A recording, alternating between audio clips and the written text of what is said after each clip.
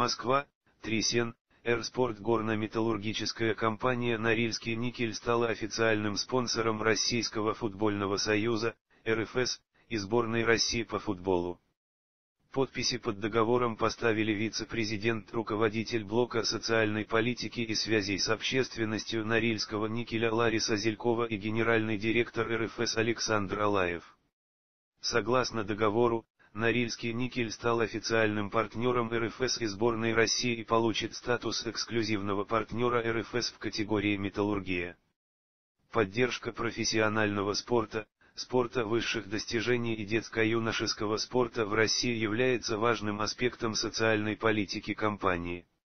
Согласно договору мы совместно с Российским футбольным союзом намерены оказать серьезную помощь развитию детского и юношеского футбола в нашей стране. Это первоочередная цель, которую мы ставим перед собой в рамках данного соглашения, заявила Зелькова, слова которой приводятся в пресс-релизе. Выступая перед журналистами, министр спорта России и глава РФС Виталий Мутко отметил, что для Союза крайне важным является момент с точки зрения развития футбола, создания твердой экономической основы РФС. Хотел бы поблагодарить руководство Норильского никеля. Это одна из ведущих компаний в России и мире, она уделяет большое внимание спорту и футболу. Чтобы развивать футбол, нужна поддержка национальной команды.